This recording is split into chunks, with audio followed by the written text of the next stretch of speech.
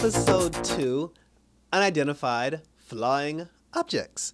it's your boy Icon back for some DC TV. So, in our last episode, Naomi had come face to face from the man with wings, and he let her know that, uh, asked the question, and she was like, Who am I?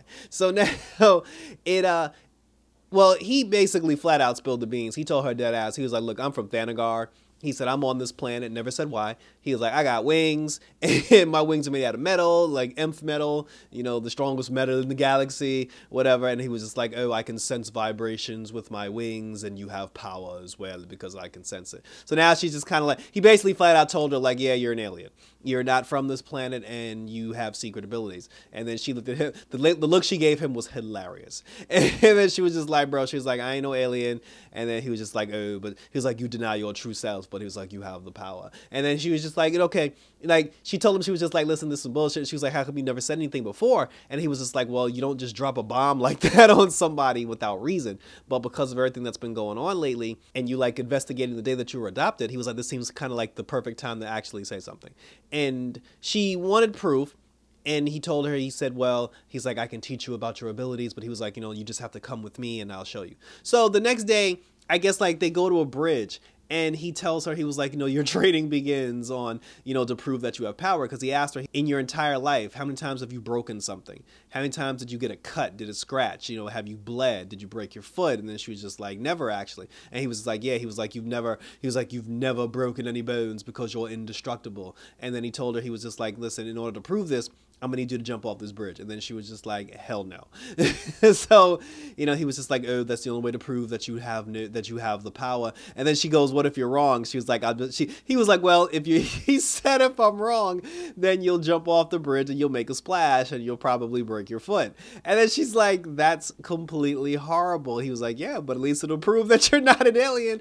And obviously, you know, like she backed down and she didn't want to jump off the bridge and then he was then then he jumped off the bridge and then he sprouted his wings then he was just like you can't deny who you are naomi. And he was just like when you're ready for the true test he was like i'll be right here waiting for you. So at this point she spends the rest of the episode now basically trying to prove that aliens and superheroes doesn't exist. She ends up researching the crash that happened on the day that she was adopted. She even asked her parents about it and her parents straight up lied to her face. Like her parents know know every single thing that happens. They know she's an alien. And because it's like her dad's in the military, for Christ's sake. So they basically found this alien child and they stuck her with these two people who were probably looking, trying to get pregnant at the time because they were a married couple. And the government basically said, watch after this girl. We'll monitor her to see if there's, you know, see if there's a problem. They know the deal. You know, like they, they definitely know the deal. But they lied to the girl, they lied to the poor girl face, and they're just like, oh, we're just your parents and we want what's best for you. And I was like, bullshit.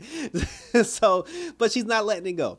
And here's where the recruiting started because her best friend came over and her best friend calls her babes like every 13 seconds and I find it weird and annoying. But her friend, her best friend came over. She told her friend everything. She was like, "Listen, this dude said that I'm an alien and I have powers." And her friend thought it was cool. She was like, "Oh," and then he was like, "Superman is real," you know, like the, like her friend was actually all in. But then she was just like, "But if that's the case," she said, "But if you're an alien and if you have alien powers, why are you trying to prove that aliens don't exist and why are you trying to prove that the crash landing on the day that you were adopted never happened? Because she said it seems like a pretty big coincidence. And then she was just like oh just help me. So she ended up helping her. They needed a car. So then the friend called this other dude who had like some beat up car. He showed up. So now we have three people. Then the guy that i guess she's been flirting with or talking to he came over to her house to help out with the whole situation. So now we got four people. Then the black dude that, you know, used to date her, the two of them were supposed to work on a school project. He ended up showing up, and now we have five people. And then the five of them were driving down to the place where the crash site used to be, where the UFO crashed. The car broke down. They ended up calling the purple haired girl, and now we got six people. And I'm sitting here like, when the hell did the, like, when did this become Scooby in the game? I was just like, there wasn't a need to recruit all these people. But you know, in, in a lot of these CW shows, like there's always like a group, there's always a cast, there's always a team, you know, and I guess like this is gonna be her team because they literally came up with a reason for all six of these people like to be in the same place at the same time. And one of the guys even said, like the kid who had the car, he said that there was a guy that was actually around when the original UFO had crash landed. So they went to go talk to him and he was telling them the story about what happened. And then he said that him and his friends tried to investigate. And then, you know, all of a sudden they saw like this big glowing light and then the next thing they know, they never had a chance to actually look at the aircraft or get on the aircraft because he said after they saw the light, they just ended up back where they originally were and they didn't even know how they got there. Naomi was just like, well, if that was the case, and she was like, if you never, if you don't know what happened, why are there no, you know, like residual pieces? Why there, why is there no like, you know, like metal, no traces of anything, you know, at, at the, you know, at the, at the crash site? And then he was like, because where y'all looking, that's not where the crash site was. like that's not where the original crash site was. So he told them where the original crash site was. They go down to the crash site. While they're there, some of her powers start kicking in to the point where she can start like feeling like the trees. She can hear the trees. She can hear people. She can hear vibrations and everything. Like her powers are slowly starting to kick in. They end up going all the way down to this warehouse. And when they go down to the abandoned warehouse, Naomi sees on the wall the same symbols and the same writing that she saw on that little tablet thing that that black dude stole from her. And then at that moment, here came the black dude. And then, like the black dude ran up on him. So now Scooby and the gang, like they're all back to back to back to back to back to back. And the guy's just like talking in the shadows and he's just like, oh, I don't want to hurt your friends. He's like, he told her friends, he was just like, oh, all of you leave and just leave me and Naomi alone. And I was like, huh? I was like, that didn't even sound right, dude. Like, there had to be a better way for him to say that. And then they were just like, oh, we're not leaving her. And then he was like, if they don't, they will all die. And then Naomi was just like, guys, it's okay. You can all leave. She's like, I'll be fine with some strange, random, grown ass adult in this abandoned warehouse by myself. And then, and then her, and then the girl, and then like her best friend, she was just like, yeah, guys. She's like, we have to trust Naomi. We're gonna leave. We're gonna. And then the black dude was like, yo, we gonna be right outside. But my whole thing is, if you were gonna tell all of them to leave, what the hell did you bring all sixes before? like you brought six people, and they're just like, oh guys, you could just wait outside. you know, I was just like, really? Like that was great. And then you know, so she's talking to the black dude. The black dude was just like, look, it was just like, like stay out of it, child. He was just like, you don't, you cannot grasp the power, you know, that is that that is bestowed upon you. And then the two of them had a little face off, and then while they had a face off Naomi ended up creating like the same vortex that she created before and it started surrounding her entire body. But this time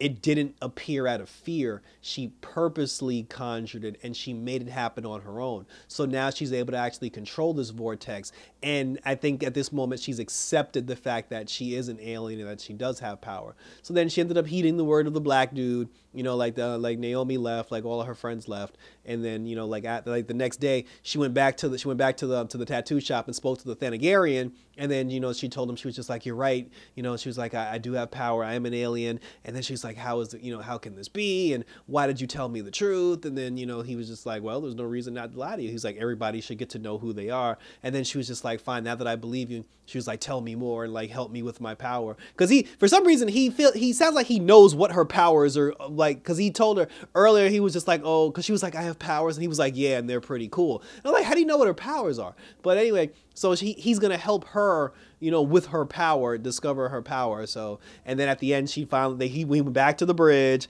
and then he was just like, "Now jump, child." And then she jumped off the bridge, and then he looked down, and he was like, "Ah, not one scratch." You know, he was like, "Not a splash has been made in the ocean," because apparently that vortex that she creates acted like a tornado and she's using it to like fly now because the girl can fly but they didn't show us that. So that was um you know that that was that was pretty much it. And then in the end her dad got run up on by his boss and then his boss was just like oh there are aliens among us and superman's an alien and aliens are and i'm just like do we not know that or this show is not on earth prime Let's just get that. Let's just get that out the way right now. If they just found out that Superman's an alien, the show is not on Earth Prime you know, but he was just like, oh, if there are aliens here, we must hunt them down and kill them immediately, which is now extremely awkward, you know, because his daughter's an alien.